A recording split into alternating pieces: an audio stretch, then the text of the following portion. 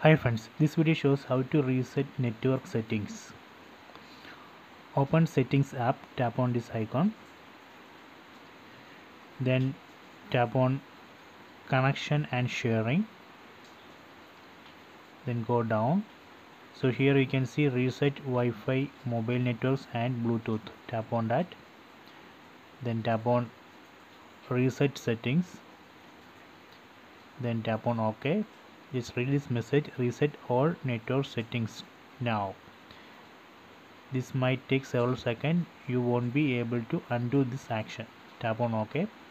So this way we can reset network settings. This is a method 1 so method 2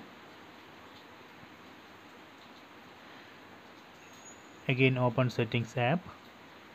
Then go to sim cards and mobile networks. Then tap on the sim one or two. Then tap on access point names. Then here you can see reset. So when you tap on this reset it delete this existing default APN and, and create a new one. See it's deleted and created a new one.